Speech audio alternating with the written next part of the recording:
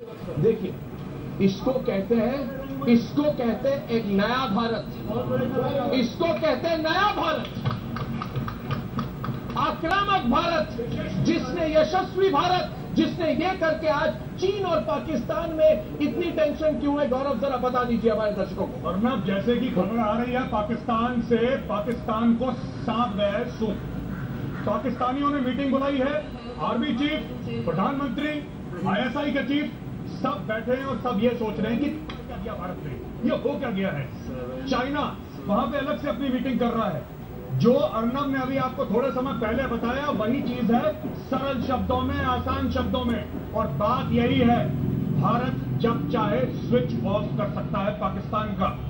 छोटी बात और बड़ी बात सिविलियंस के लिए एटीएम मशीन पानी बिजली क्रेडिट कार्ड आपका इंटरनेट आपका मोबाइल फ़ोन सब बंद। और ही चीज़ है। उनकी